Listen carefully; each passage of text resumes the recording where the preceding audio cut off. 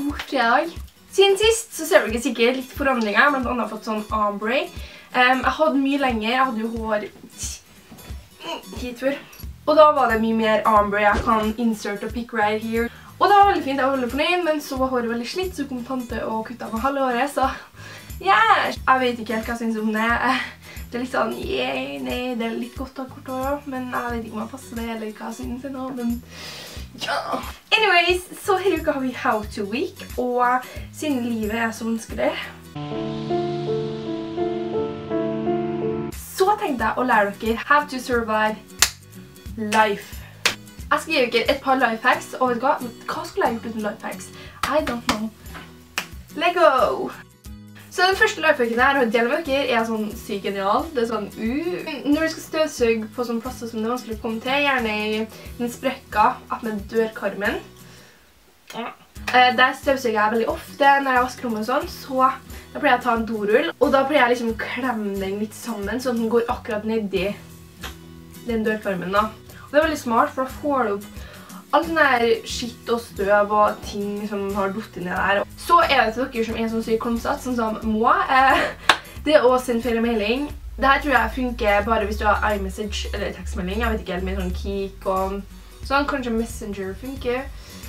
ikke, Snap funker sikkert, men når du har sendt feil, så er det bare å ta på Airplay mode, fordi da blir det sånn feilmelding. Så det er veldig smart hvis du har sendt nudes eller til faren din eller sånn.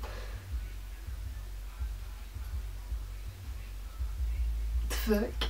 Så hvis du drikker cola fra en sånn brusboks med sugerør, noe som jeg aldri gjør, men this is great for people who do that. Den tingen du åpner cola med, snu den 90 grader rundt. Da. 90 grader. 90. 90. Ok. Ok, hva søren? 90 grader rundt. Ja, 90 grader rundt. 90 grader rundt. Jeg tror det. Ok. Det er så flaut hvis jeg tar helt feil nå, og jeg virker sikkert helt idiot, men nå fikk jeg helt hjertabbe. Snu den i hvert fall halvveis rundt, og så setter jeg bare sugerøret opp i hullet, og tada! Her uka her har jeg et sånn helt sinnssykt crave etter is, sånn iskrem i boks. Og som dere sier så må man ta den ut av fryseren og vente i sånn kvarter, halvtime, spørs på hvor hard isen er, men du må vente ganske lenge før du kan eh, spise da. Også den halvtimen, den kan virke som tre år, det kan gå helt sykt sent. Så det her er det jeg har funnet ut som kan gjøre livet ditt så mye enklere. Det å ta en skje under veldig, veldig varmt vann. Pass på at dere ikke brenner dere. Det har skjedd med meg. Vær veldig, veldig forsiktig. Jeg vil ikke at noen skal få brannskade. Jeg vil ikke at noen skal få vondt, ok? Be careful. I hvert fall ta den under varmt vann i cirka um, 20 sekunder. Og så tar du opp isen, og tada! Så er det for dere som ser veldig mye YouTube-videoer på telefonen og sånn. Og da er det veldig, veldig kjipt um, og sitte og holde telefonen sånn her hele tiden. Det jeg pleier å gjøre er å ta solbrillene mine, og så vender dem opp ned, og så setter jeg mobilen oppe der. Så da får vi på en måte hjemmelaget tid da, for telefonen din.